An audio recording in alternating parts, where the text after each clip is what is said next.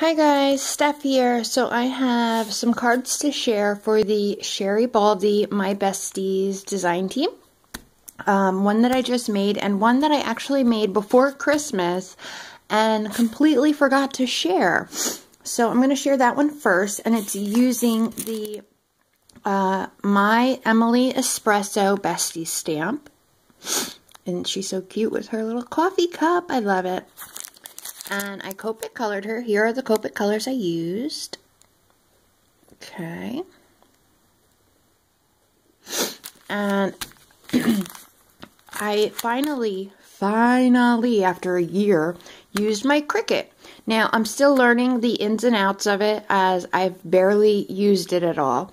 But I used a um, cartridge that I got from a sweet friend, Kim, um, called uh, Love You a Latte, I think, and made a shaped card. So see, it's shaped like a to-go coffee cup. And here it is. It's small. I, I, I would have preferred to do it bigger, but I got to learn the Cricut a little better. But here's my girl. So it's a very simple card. If it will focus. Focus. It will, I promise. There we go. So I just Copic colored her. In fun colors, I added some glossy accents, some Wink of Stella, some glitter pen, and some white gel pen. And then, as I said, I just cut it out of the um, Cricut twice and adhered them together to make a card.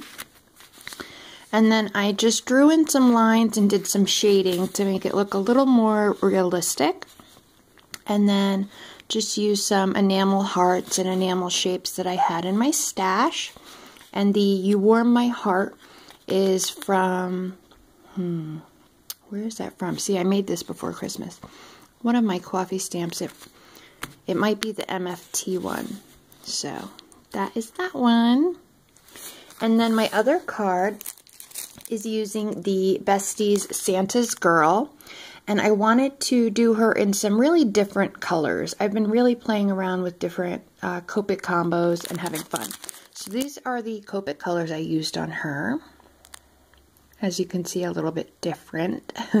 I wanted a winter card, not a Christmas card. And this is an A2 card on some green paper train cardstock. And here is the card.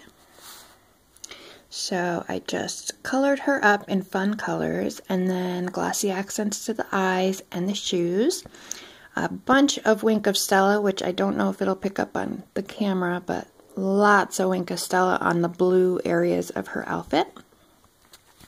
And then the pattern papers are all from, um, except for the blue, um, the Glitz Hello December.